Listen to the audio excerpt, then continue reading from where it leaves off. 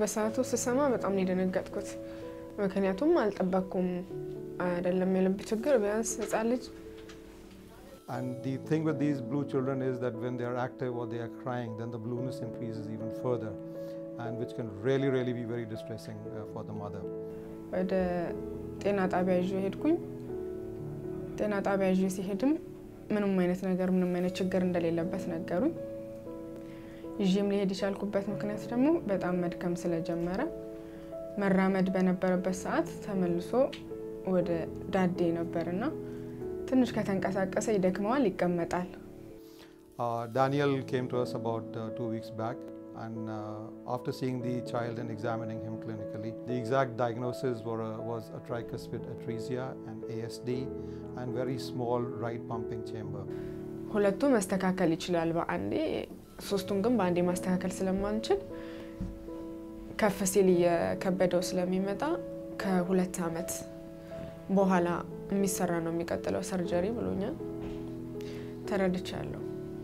This kind of a disease entity, they would need multiple surgeries. One unfortunately cannot correct the underlying defect in toto because one cannot make a right pumping chamber if it is not there. So, what we do is what is known as palliative surgery. We are able to take away the effects because of the underlying defect, and as in this case, it was mainly the blueness. So, we can take away the blueness. We, the child will become pink again once the second stage is over, and he would be able to integrate back into society and lead a principle of very sort of independent, healthy lifestyle. በጣም ብዙ ለውጥ ነው ያለው።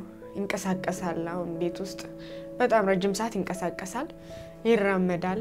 በቃ የመጫወት ፍላጎቱ በጣም ጨምሯል። እንዳየሁት ከሆነ እነዚህ ለውጦች አሉ። እንግዲህ ለሚቀጥለው ሰርጀሪ እሱን አላቅም። እንግዲህ ከሁለት ዓመት በኋላ ምን ሊፈጠር እንደሚችል አላቅም። Uh, uh, uh,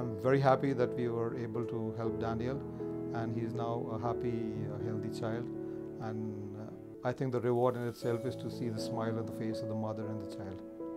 And I think that's ecstatic.